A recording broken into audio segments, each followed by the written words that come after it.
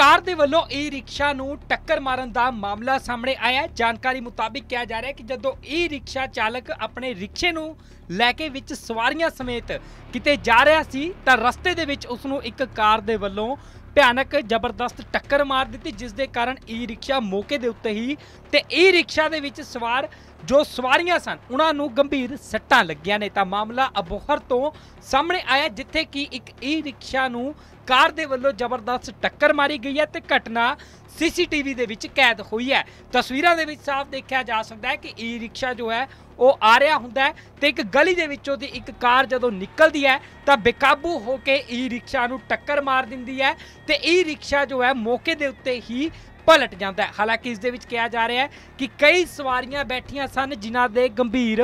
ਸੱਟਾਂ ਲੱਗੀਆਂ ਨੇ ਹਾਲਾਂਕਿ ਇਹ ਤਸਵੀਰਾਂ ਅਬੋਹਰ ਤੋਂ ਸਾਹਮਣੇ ਆਈਆਂ ਨੇ